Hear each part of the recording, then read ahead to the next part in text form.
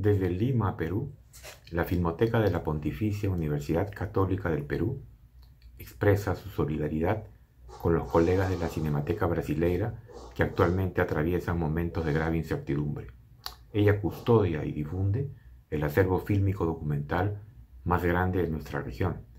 pero la inestabilidad, así como la intervención que hoy soporta, han puesto en peligro este valioso legado y han colocado en una peligrosa situación de vulnerabilidad a los trabajadores de esta importante institución hermana.